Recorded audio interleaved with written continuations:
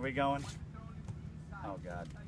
All right, hey guys, it's Ryan Sudol, and uh, the only person in the world that could have nominated me for an Ice Bucket Challenge, and I would have done it, Nick Fiddick has nominated me, so I'm here today at IMG Academy, one of the elite training facilities in the world, and I'm getting ready to jump into 70 gallons of ice cold water.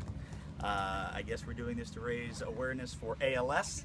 So doing that, I'm going to go to the MLS and nominate former Rowdy standouts Luke Mulholland and Jeff Attinella. Also going to nominate Orlando City Soccer Supporter Group, the Ruckus, and my good buddy Joe Morningstar. Uh, you've got 24 hours to do this. Um, oh, this is going to suck.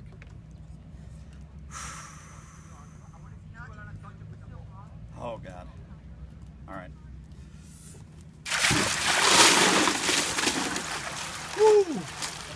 It's actually not as bad as I thought it was going to be.